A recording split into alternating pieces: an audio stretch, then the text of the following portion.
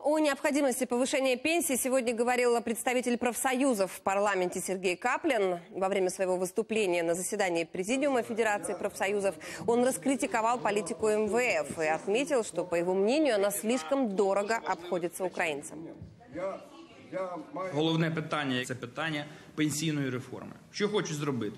Хочуть, щоб 12 мільйонів пенсіонерів жили і далі отримували мізерну пенсію, на яку неможливо прожити навіть тиждень, я вже не кажу про місяць. Де взяти гроші, ми знаємо. Припиніть контрабанду на кордоні, припиніть корупцію в банківській сфері, припиніть офшоризацію країни і припиніть політичну корупцію, коли ви партіям і фракціям роздаєте мільярди, а пенсіонеру нічого. Потрібно обговорити як позбутися впливу міжнародного валютного фонду на нашу національну економіку, адже вони знищили. Потрібно повернути всі пільги інвалідам, дітям війни, іншим категоріям населення, які були до прем'єрства Яценюка.